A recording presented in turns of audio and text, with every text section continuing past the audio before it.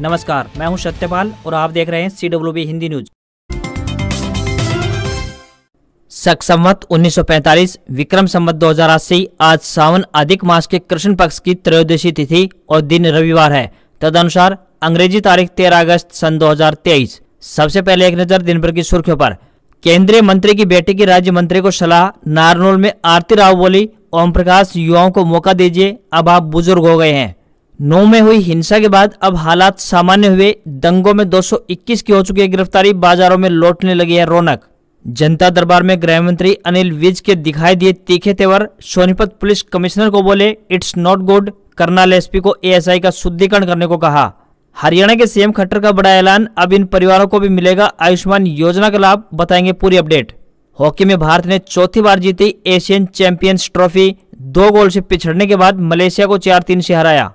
भारत ने नौ विकेट से जीता चौथा T twenty cricket match, series दो दो से बराबर। हिंदी फ़िल्म गदर टू इस साल की सेकंड हाईएस्ट ओपनर बनी। एक दिन में कमाई 40 करोड़ रुपए। वहीं ओ एम जी टू ने 10 करोड़ रुपए तक कमाए अनवार उल हक होंगे पाकिस्तान के केयर टेकर प्रधानमंत्री। 13 अगस्त यानी आज लेंगे शपथ। संसद भंग होने के दो दिन बाद लिया ये फैसला। हरियाणा एसएससी की तरफ़ से सीईटी ग्रुप नंबर छप्पन और सत्तावन परीक्षा को लेकर आई एक बड़ी अपडेट बताएँगे पूरी खबर। और अब खबरें विस्तार से। हरियाणा में मौसम विभाग ने 13 जून को 13 जिलों के लिए येलो अलर्ट जारी किया है। रविवार को पाँच जिलों में भारी बारिश और अन्य आठ जिलों में गरज चमक के साथ हल्की बारिश की संभावना जताई है। मौसम विशेषज्ञों का मानना है कि 15 अगस्त के बाद प्रदेश में मानसून की सक्रियता बढ़ने के आसार हैं। वहीं चौधरी चरण सिंह, हरियाणा कृषि विश्वविद्यालय, हिसार के कृषि मौसम विज्ञान विभाग ने बारह ऐसी चौदह अगस्त के दौरान राज्य में मौसम आमतौर आरोप परिवर्तनशील व बीच बीच में बादलवाई और कुछ एक स्थानों आरोप छिटपुट बूंदाबांदी या फिर हल्की बारिश की संभावना जताई है। राज्य में मानसून की सक्रियता पंद्रह अगस्त के बाद ही फिर से बढ़ने की संभावना बन रही है। वही बीस अगस्त के बाद, यानी अगस्त के अंत से बारिश में बढ़ोतरी होने का अनुमान विशेषज्ञ जता रहे हैं। हरियाणा में नए पुलिस महानिदेशक यानी डीजीपी के लिए टाइम कम बचा है। 15 अगस्त को वर्तमान डीजीपी पी के अग्रवाल रिटायर हो रहे हैं, यानी तीन दिन बाद 16 अगस्त को सूबे को नया डीजीपी मिल जाएगा। ऐसे में अब इसके लिए लॉबिंग तेज हो गई है। अभी तक उन्नीस सौ नब्बे बैच के आईपीएस अधिकारी शत्रुजीत कपूर फ्रंट रनर चल रहे हैं, लेकिन अब उन्नीस सौ नवासी बैच के आईपीएस ऑफिसर आरसी मिश्रा भी रेस में शामिल हो गए हैं। मिश्रा के लिए राष्ट्रीय स्वयं संघ यानी आरएसएस के कई बड़े नेता दिल्ली में पैरवी करते दिखाई दे रहे हैं। इस कारण ऐसी डीजीपी का मुकाबला काफ़ी रोमांचक हो गए हैं। अभी तक आईपीएस अधिकारी शत्रुजीत कपूर सबसे आगे चल रहे हैं। इसकी बड़ी वजह यह भी है कि मुख्यमंत्री मनोहर लाल खट्टर के फेवरेट हैं। हरियाणा के मुख्यमंत्री मनोहर लाल खट्टर ने यमुनानगर दौरे के दौरान बड़ी घोषणा की है। उन्होंने आयुष्मान भारत योजना का दायरा बढ़ाने का ऐलान किया है। सीएम के ऐलान के बाद अब तीन लाख रुपए तक की सालाना इनकम वाले परिवारों को भी आयुष्मान भारत योजना का लाभ मिलेगा। पंद्रह सौ जमा कराकर लोग इस योजना का लाभ उठा सकेंगे। सीएम ने बताया की पंद्रह अगस्त ऐसी योजना के लिए पोर्टल खोल दिया जाएगा। अभी तक हरियाणा में तीस लाख परिवार आयुष्मान योजना का लाभ ले रहे हैं। सीएम की घोषणा के बाद और आठ लाख परिवार इस योजना ऐसी जुड़ जाएँगे। आयुष्मान भारत पीएम स्कीम हरियाणा में चिरायु के नाम ऐसी संचालित की जा रही है। वही पाँच लाख तक का सरकारी इलाज वे पैनल पर प्राइवेट अस्पतालों में करवा सकेंगे। इसके साथ ही किसी भी अन्य दस्तावेज़ दिखाने की कोई आवश्यकता नहीं रहेगी। हरियाणा में सरकारी नौकरियों की अधिकतर भर्तियाँ कोर्ट में अटकती रही हैं। 2018 में पुलिस के 7,110 पदों के लिए निकली भर्ती को भी सामाजिक व आर्थिक आधार के अंकों को लेकर भी हाईकोर्ट में चुनौती दी गई है। हालाँकि इस भर्ती के चयनितों को 2020 में नियुक्ति दी जा चुकी है। इसी तरह 2019 में निकली क्लर्क के चार हज़ार सात सौ अठानवे पदों की भर्ती में अभ्यर्थियों का दो हज़ार बाईस में चयन हो गया पर आंसर की को लेकर मामला हाईकोर्ट में चला गया। करीब दो सौ चयनितों को हटाया तो उन्होंने स्टे ले लिया। अभी मामला कोर्ट में है। वही दो हज़ार बाईस में निकली तीन सौ तिरासी वेटनरी सर्जन की भर्ती में भी पेपर लीक व आंसर की का मामला कोर्ट में गया और भर्ती पर सटे हो गया। सबसे बड़ी बात यह है कि भर्तियों को लेकर हरियाणा कर्मचारी चयन आयोग, यानी एच के खिलाफ कोर्ट में चार हज़ार ज़्यादा केस चल रहे हैं। किसी भी भर्ती में नॉर्मलाइजेशन तो किसी में प्रश्नों को लेकर चुनौती दी गई है।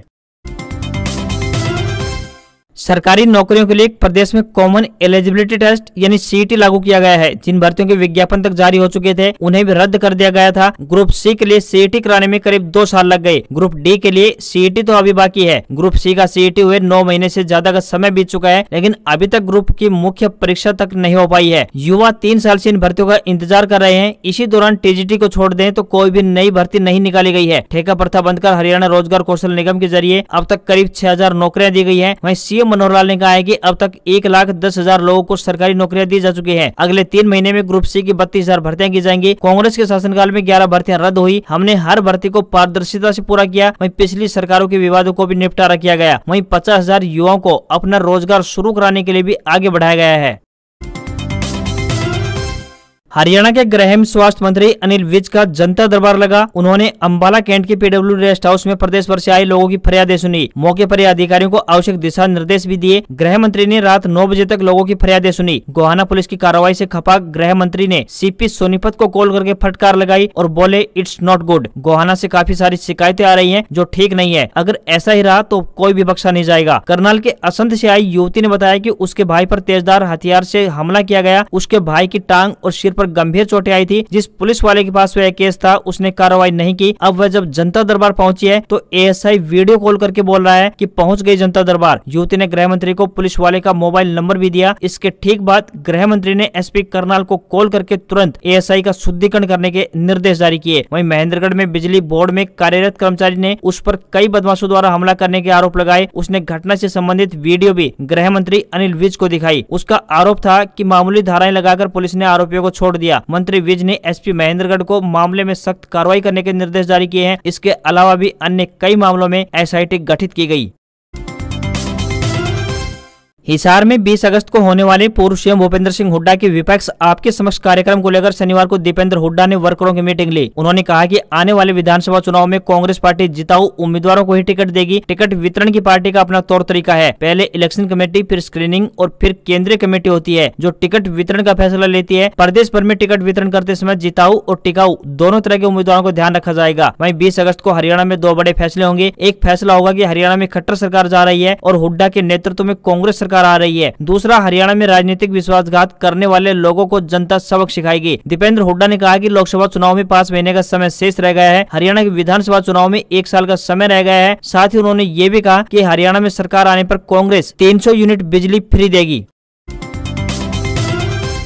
हरियाणा के नौ में हुई हिंसा के बाद हिंदू सर्वजातीय महापंचायत पलवल में रविवार यानी आज होगी। इससे पहले इस महापंचायत को नौ में ही आयोजित करने का निर्णय लिया गया था, लेकिन कर्फ्यू और नू के हालातों को देखते हुए प्रशासन की तरफ़ से परमिशन नहीं दी गई, जिसके बाद आयोजकों ने इसे नू के बॉर्डर से सटे पलवल के गाँव में आयोजित करने का निर्णय लिया गया है। महापंचायत में अट्ठाईस अगस्त को निकलने वाली ब्रजमंडल यात्रा आरोप फैसला लिया जाएगा। वही हिंदू सर्वजातीय महापंचायत में गुरुग्राम नू व पलवल ज़िले के लोगों को आमंत्रित किया गया है। महापंचायत चौधरी अरुण जैलदार के मार्गदर्शन में होने जा रही है। बता दें कि इकतीस जुलाई को नौ में ब्रजमंडल यात्रा पर पथराव के बाद हिंसा फैल गई थी। हिंसा के दौरान होमगार्ड के दो जवानों सहित छह लोगों की मौत हुई थी। इसके साथ ही 150 से ज़्यादा वाहनों को फूक दिया गया और हिंसा में 80 से ज़्यादा लोग घायल बताए गए। हिंसा के बाद हरियाणा के नौ जिलों में धारा एक सौ चौवालीस लागू की गई। ज़्यादातर ज़िले में धारा एक सौ चौवालीस हटा दी गई है। फ़िलहाल नौ में स्थिति धीरे धीरे सामान्य होती दिखाई दे रही है।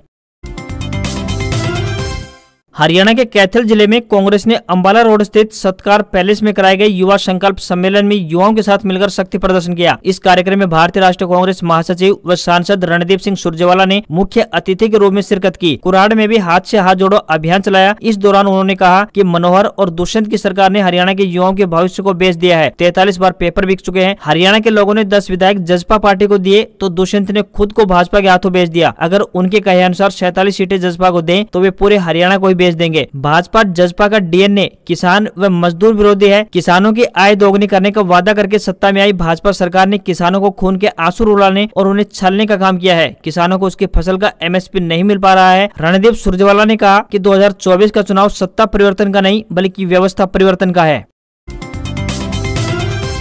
हरियाणा के फरीदाबाद ज़िले में हड़ताल पर बैठी आशा वर्करों ने कैबिनेट मंत्री मूलचंद शर्मा के कार्यालय का घेराव किया और मानदेय बढ़ाने के लिए कैबिनेट मंत्री मूलचंद शर्मा को अपना मांग पत्र सौंपा। आशा वर्कर यूनियन की प्रधान हेमलता ने बताया कि पूरे प्रदेश में मंत्रियों और विधायकों के घेराव किया गया है। उन्होंने कहा कि सरकार द्वारा सिर्फ़ आठ हज़ार का मानदेय दिया जा रहा है। इतने कम मानदेय में आशा वर्कर अपने परिवार का गुजारा भत्ता नहीं कर सकती। इसके साथ ही स्वास्थ्य विभाग द्वारा आशा वर्करों ऐसी अपने कार्य ऐसी भी अधिक कार्य करवाया जाता है, जिससे उनका शोषण हो रहा है। मांग पत्र में यह भी लिखा गया है की सभी आशा वर्करों को छब्बीस हज़ार रूपए मानदेय सरकार द्वारा दिया जाए और सभी सुविधाएँ भी उपलब्ध करवाई जाए। अगर सरकार मांगों को पूरा नहीं करती है तो जो हड़ताल सत्रह अगस्त तक की गई है, इसे अनिश्चितकालीन करने आरोप जल्दी फैसला लेंगे।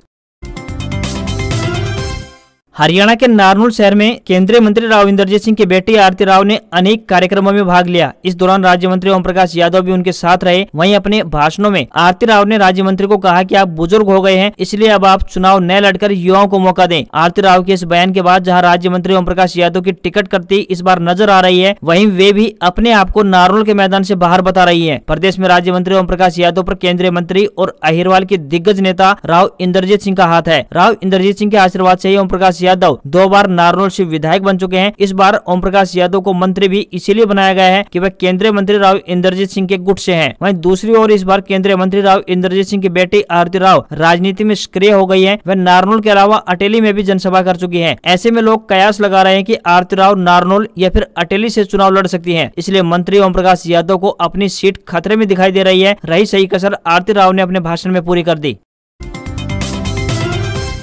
हरियाणा के मुख्यमंत्री मनोहर लाल खट्टर ने यमुनानगर में जन संवाद किया। कस्बा रादौर के गाँव बाकाना में मुख्यमंत्री ने लोगों को कई सौगातें दी। उन्होंने कहा कि अब प्रदेश में तीन लाख रुपए वार्षिक आय वाले परिवारों को भी आयुष्मान योजना का लाभ मिलेगा। इसके लिए वे पंद्रह सौ रूपए जमा करवाकर इसका हिस्सा बन सकते हैं। सीएम ने बताया की अब तक आयुष्मान भारत योजना का लाभ एक लाख अस्सी हज़ार रूपए के आय वालों को ही मिल रहा था। अब तीन लाख रूपए तक के आय वाले इसका हिस्सा बनेंगे। पंद्रह अगस्त ऐसी योजना के लिए पोर्टल खोल दिया जाएगा। वही पंद्रह सौ रूपए के साथ योजना का लाभ भी मिलेगा। आठ लाख परिवार और इस घोषणा के बाद योजना का लाभ उठा पाएँगे। हर गाँव का डाटा सरकार के पास है। मनोहर लाल ने कहा है कि आज पढ़े लिखे युवाओं को बिना खर्ची व पर्ची के सरकारी नौकरी उपलब्ध हो रही है। सरकार द्वारा सभी लोगों का फ्री में इलाज किया जा रहा है। उन्होंने कहा कि अब 2024 आने वाला है और इसमें अनेक पार्टियों के लोग आपके पास वोट मांगने आएँगे। आपको वादे कर भ्रमित करने का काम भी करेंगे। मुख्यमंत्री मनोहर लाल खट्टर ने कहा कि आपको किसी के बहकावे में आने की कोई आवश्यकता नहीं है। आपको ऐसी पार्टी को चुनाव में धूल चटाकर भाजपा को दोबारा से सत्ता में लाने का काम करना होगा।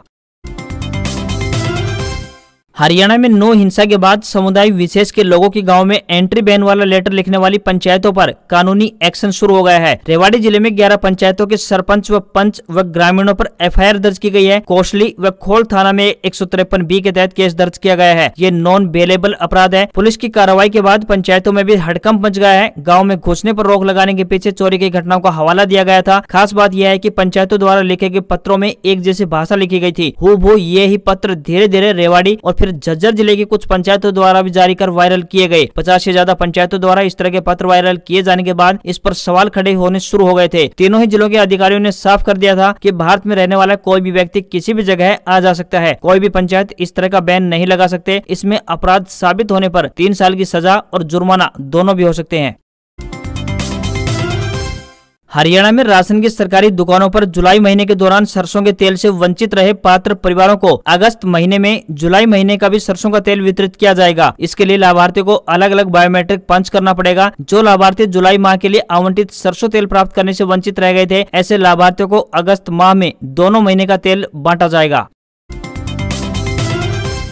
हरियाणा में सीएटी मेंस के ग्रुप नंबर छप्पन और ग्रुप नंबर सत्तावन की परीक्षा का आयोजन किया गया। ग्रुप नंबर छप्पन की परीक्षा में पहले दिन हुई परीक्षा से 41 सवाल रिपीट हो गए, जिससे मामला गर्मा गया। अभ्यर्थियों के बीच साफ़ नहीं था कि आगे क्या होगा। इस परीक्षा को रद्द किया जाएगा या फिर क्या फैसला लिया जाएगा? इस पर हरियाणा एसएससी ने फैसला लेते हुए परीक्षा की उत्तर कुंजी जारी कर दी है, यानी की परीक्षा को रद्द नहीं किया जाएगा। दोनों ग्रुपों के लिए आयोजित हुई परीक्षाओं की उत्तर कुंजी आयोग की वेबसाइट आरोप मौजूद है। यदि किसी भी अभ्यर्थी को किसी भी सवाल आरोप कोई आपत्ति है तो वह अभ्यर्थी चौदह अगस्त अगस्त शाम पाँच बजे तक अपनी आपत्ति ऑनलाइन दर्ज करा सकते हैं। ऑफलाइन माध्यम से कोई भी आपत्ति स्वीकार नहीं की जाएगी। इसके बाद मुख्य परीक्षा की तरफ़ से रिज़ल्ट तैयार किया जाएगा और उसे जारी कर दिया जाएगा। आज खबरों में बस इतना ही। देखते रहिए आपका अपना हरियाणा का सबसे बेहतरीन news channel CWB Hindi news नमस्कार।